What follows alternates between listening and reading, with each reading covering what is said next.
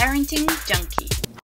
Hey guys, welcome back to the Parenting Junkie, the place to go to love parenting and for parenting from love. Do you ever wonder how we can empower little girls? Now, don't get me wrong, I don't think there's anything wrong with being feminine and girly and enjoying all of the stereotypically pink, glittery, princess girly stuff. But as we all know, there are many ways that girls are undermined or put into positions that don't do them a service. And many of the classic things that people say to little girls support that disempowerment. If you passionately believe that we could be doing better by little girls, give this video a like to help it be more discoverable to more parents. So I'm gonna give you a list of 10 things to stop saying to little girls. My favorite is number eight, and I'd love to hear what your favorite is in the comments below.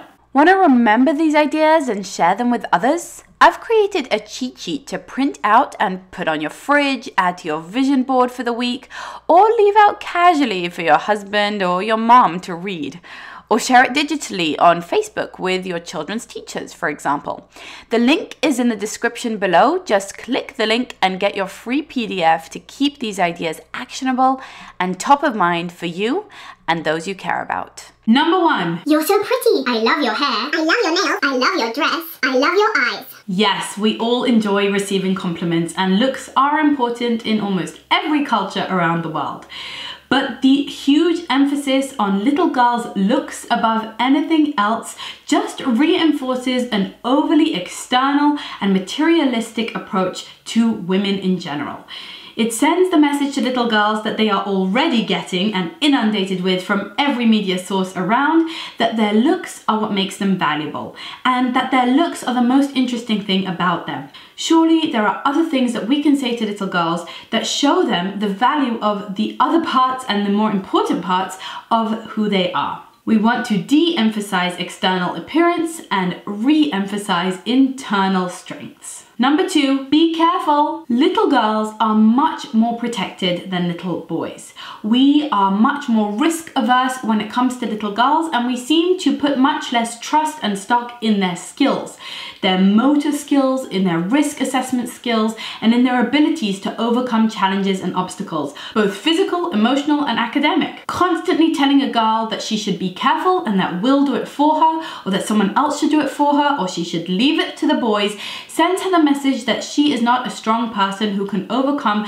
challenges and obstacles or be trusted with risk. Women seem to be typically more risk averse than men anyway. This is probably influenced both by nature and nurture, but at least on the nurture side, we can encourage little girls to take risks. We can encourage them not to be so careful, to be willing to put themselves out there, even at the risk of making a fool of themselves or taking a stumble. This approach to girls as fragile makes them so. Number three is be nice. Often when there's an argument or a conflict between children, uh, we hold the unspoken expectation, or the spoken one, that it's the girl's job to be nice. That it's the girl's job, in fact, to just give up on her side of the story, on her needs, and on her wishes, so that she can be nice to others. In his book, The Opposite of Spoilt, Ron Lieber shares that little boys are encouraged to earn money and to save it whilst little girls are encouraged to give their money away. Of course, we want to teach all of our children to be kind and empathic and giving, but little girls often get pushed into niceness and it turns them into pleasers. Pathological pleasers. Come on, you and I both know that almost all the women we know are serious pleasers, unable to say no, unable to set up clear boundaries, and bleeding heart empaths who don't have their own needs met. Number four, give me a kiss and I'll buy you a present. Give me a kiss or I'll be sad. Little girls are adorable and irresistible and many people would like a kiss from them or for them to sit on their laps or a high five or whatever it is. But eliciting physical affection from a child through guilt or bribing or threatening is a big no-no. We want to teach body autonomy and consent to our children from the youngest of ages. When it comes to touch, uh, you want it to be unconditional, out of the warmth of her heart, and you want her to be receiving it as such as well. Don't do that, you'll get dirty. My mother tells me that when she was a child, she was not allowed to climb trees because it wasn't suitable for little girls to get dirty. Now we know better, but still there are people who keep their children pristinely clean and particularly little girls. Getting messy and dirty is an extremely important part of childhood and sensory exploration and little girls need to be wearing practical clothes and being allowed to be getting messy and not worrying so much about those clothes. This also comes to how we do their hair. Constantly harassing them to have it just so can actually undermine the flow, creativity and freedom of childhood. I'm not saying your child should be unkempt, but the emphasis put on external appearance with little girls sometimes grossly overrides her actual developmental needs. Plus, we do not want to raise a perfectionist. We want to raise someone who knows how to get themselves dirty and be okay with it. You look sad. Should we get you a cookie? If you do this, I'll give you a lollipop. Creating a connection between emotions and food is a big mistake when it comes to raising both girls and boys, but we know that girls suffer particularly from eating disorders. We also know that any emphasis we're putting on eating as parents should really be only about health, growing strong, and nutrition.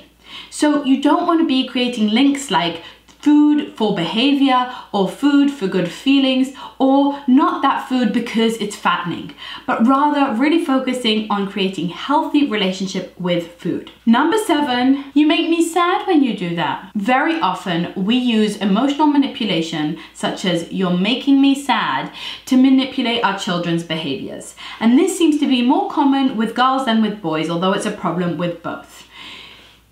Extremely important that we separate our emotions from our requests when it comes to our children's cooperation and collaboration with us. With our little girls, we need to teach them that we expect certain limits to be respected and the real reason why, but not to intertwine our own emotions and put our emotions as a burden onto them. We don't want to engage in this reverse parenting dynamic where the child suddenly has to behave a certain way in order for the parent to feel happy. We are in charge of our own happiness. We are in charge of our emotional response, and we never want to give our child that kind of power. It's too much for them and it's unfair on them. Number eight, I shouldn't have eaten that. I'm so fat. I'm getting gray hairs. Oh, I'm really aging. I hate my skin. I hate my arm. I hate my thighs. I need to lose weight. Complaining about your own body and image in front of your child, or even not in front of your child, because we all know that those energies are there and children can feel it all is a surefire way of setting that voice in motion in her head, of her feeling like she's not good enough and she's not measuring up either. Instead, we want to cultivate a diverse celebration of all the different types of beauty that exist. In terms of size and age and color, we want to show that we celebrate our own bodies and that we celebrate everybody else's bodies too. Number nine, Calm down. You're so hysterical. You're overreacting. Stop whining. When women have strong emotional reactions to things, they are often pegged as hysterical and overreacting, whereas men might be pegged as passionate or strong-minded or bold. If little girls are using a high-pitched voice or they're screaming or they're having strong emotional reactions, that's okay. We can handle it. She's healthily expressing her emotions. Now, by all means, don't allow her to be destructive or violent, but absolutely encourage and allow her to voice her feelings, uh, whether it's through crying or whining or um, being upset about something and being vocal about it. Over the years, you're going to want to teach them some coping mechanisms, some conflict resolution skills, and ways of communicating that are more effective, but we don't want to peg children as being hysterical or being overreactive when they're being emotional and they are responding in a way that is subjectively absolutely accurate. We would all respond that way if we felt the feelings that she feels now. And finally, you're so bossy. If a child is taking the reins and is directing the show, then that is a wonderful set of skills that they're developing there that many people look up to, aspire to, and benefit from. And for some reason where we um, appreciate it and admire it in boys, we seem to want to downplay it in girls, almost as though we're afraid of raising powerful, strong women. Those are my top 10 things to stop saying to girls. I would love to hear yours in the comments below. So Subscribe to the channel here on YouTube by pressing the red button and don't forget to click the little notification bell so that you're actually told when I upload a new video, which is every Monday. If you're looking for a supportive community of like minded parents, I warmly invite you to join our Love Parenting with Avital Facebook group. Plus, head on over to theparentingjunkie.com and sign up for email updates so I can gift you my free PDF guide 10 easy steps to transform your home into a play inducing haven. Don't forget to grab your free cheat sheet in the link below. Keep on loving parenting and parenting from love because your kids need you almost as much as you need them. The Parenting Junkie.